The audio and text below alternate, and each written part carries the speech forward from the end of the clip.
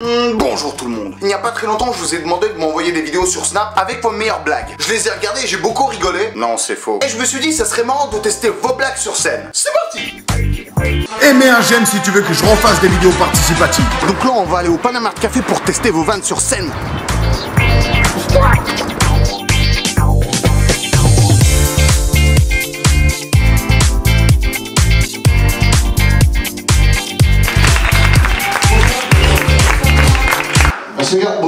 On démarre tout de suite avec la première blague. Les Daniel, on a une blague pour toi, allô Allô Allô Allô Allô Allô Allô Allô Allô Allô Allô Allô C'est quoi cet accent Vas-y, Anthony.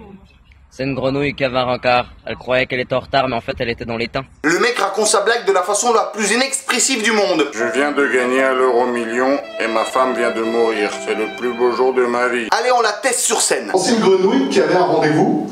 Elle pensait qu'elle était en retard, mais en fait elle était dans les temps. Beaucoup trop d'applaudissements. Des applaudissements de pitié. T'as compris? Dans les temps. Ce n'était que la première blague. Un mec va cueillir des cerises avec son pote. Sauf qu'il cueille que la cerise, t'as vu, il cueille pas la queue avec. Puis son pote, tu te dis, mais pourquoi tu les cueilles pas avec la queue? Lui il dit bah déjà avec les mains c'est compliqué.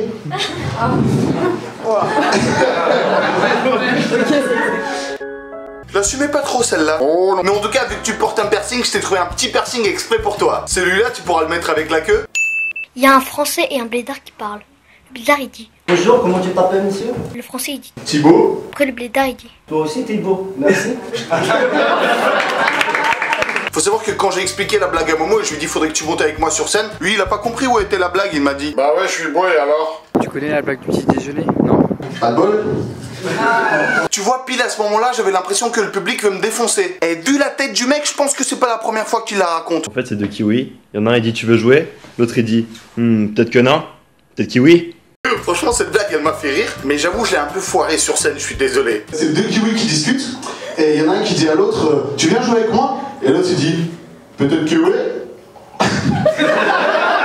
Franchement, comme ça, ça marche aussi, hein. C'est plus court, c'est mieux, tu fais rire plus rapidement. C'est un conseil pour toi, hein. Hey Daniel, à ton avis, qu'est-ce qu'un cochon qui passe la douane? C'est un passeport. Franchement, euh, Vous entendez ce silence? Pour moi, ça a duré une éternité Non, en fait, je suis vraiment désolé.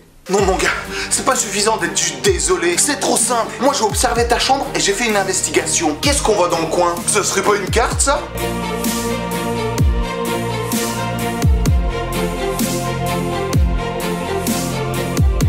Je t'ai trouvé mon gars. Ce mec habite à Brest. Il s'appelle Alexandre. Alors je veux que tous les habitants de Brest ou du Finistère en général trouvent cet Alexandre et lui disent que sa blague c'est de la merde. Euh, C'est un cheval, frère.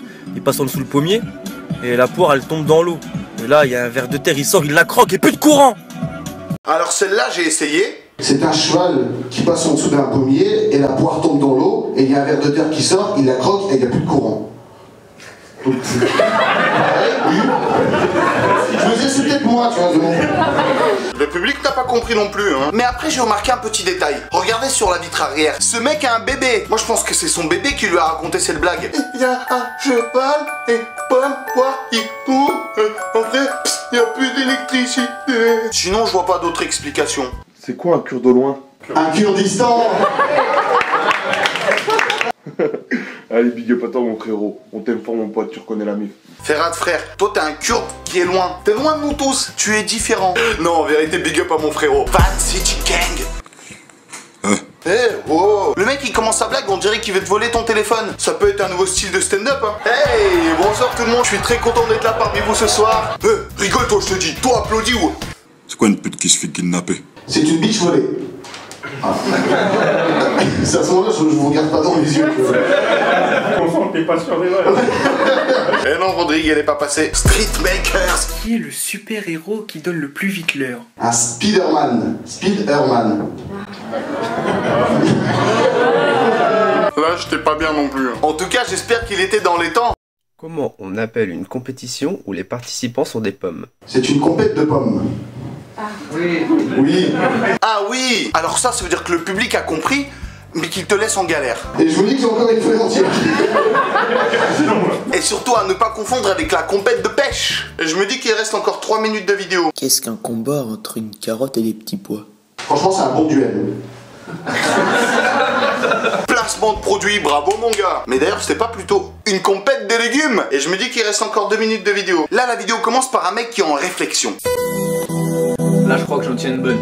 Et au final, pour nous sortir ça, Monsieur et madame, m'en vu une aussi bonne blague ont un fils. Comment s'appelle-t-il? Gérard, Gérard m'a vu une blague aussi, pas drôle.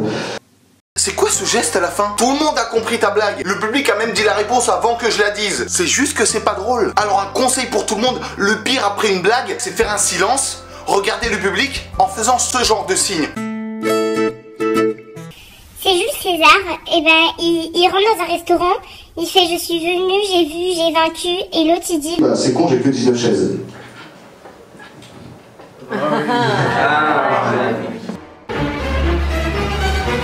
Bon, ça arrive au meilleur de faire des erreurs. Et après la scène, j'ai aussi voulu vous faire une petite surprise. Je vais montrer vos blagues à quelques potes youtubeurs. C'est l'histoire d'un homme, il est tellement petit que sa tête elle pue des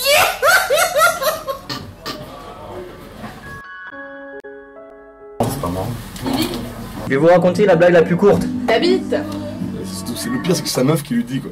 C'est- Imagine si c'était quelqu'un d'autre. Genre sa mère, sa sœur, ou genre un pote à lui qui lui montre une vidéo d'une blague. Ils sont assis sur deux chaises côte à côte. Un pote qui a des écouteurs, qui a plus d'écouteurs, qui essaie de regarder un peu partout, qui se trouve que son pote est un peu chelou et qui part.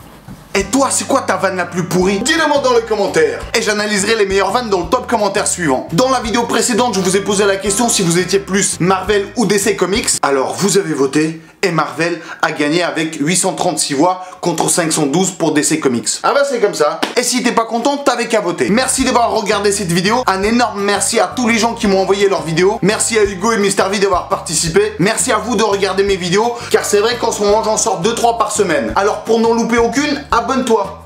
Combien de fois il faut que je le dise Hein Allez, on se voit à la prochaine vidéo qui arrive très très très très très très très très très très très très bientôt.